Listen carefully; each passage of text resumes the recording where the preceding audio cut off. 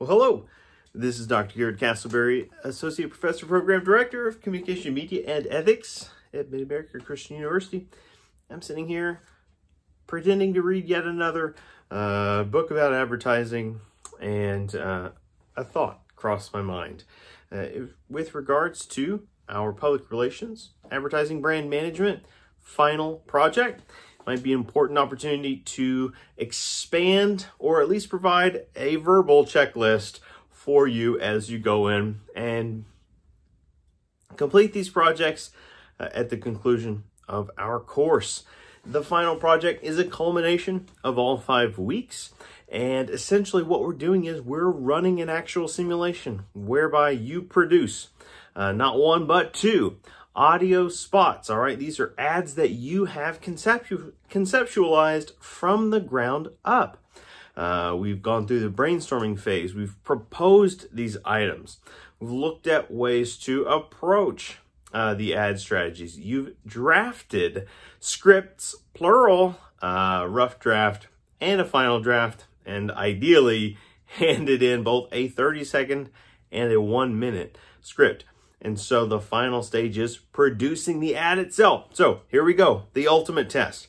And um, we have the kinds of tools at our regular dis disposal now, availability uh, for successful completion. Uh, one of the free downloadable softwares that we've recommended you all experiment with is called Audacity. And uh, I've used it in a couple of different contexts. I think it's a good starter software. You could, of course, consider something like Apple, uh, excuse me, uh, no paid endorsements here whatsoever, but uh, I, I, iMovie um, is, is something built into a lot of uh, softwares that you may possess. There are some paid apps and editing softwares out there, but the more we start to delve into those waters, the pricier they can get. And so we don't want to overthink or overspend. We want to execute. We want to get it done. So um, go with something efficient, proven, uh, and uh, most importantly, just move on it. Move on your ideas. It's time to execute. Uh, the editing process is fun. Sometimes you can explore parts of the, the text that you'd never considered before, all right? And you have that authority. You have that uh, creative uh, freedom to engage these scripts, the final products. And so what we're thinking about, there should be a voice, uh, a verbal component, right? Some uh, Something that listeners are hearing in terms of words, information. Um, but uh, these, these are ads, not readings. So uh, look for uh, creative and interesting ways to spice it up.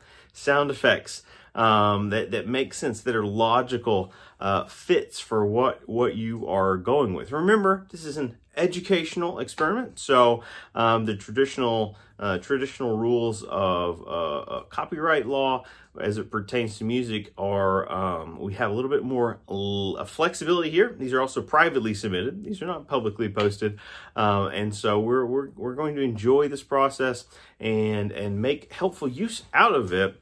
Um, but this should give you healthy, uh, healthy opportunity to practice editing, tweaking things, layering sound. And so we say uh, that, that verbal component, potential sound effects, also music, all right? So any combination of these that help you uh, put together that final product. Now, the final product should be a pair of ads, uh, a 30 second, a one minute, the two standard formats. Uh, um, and the time should be really close on this.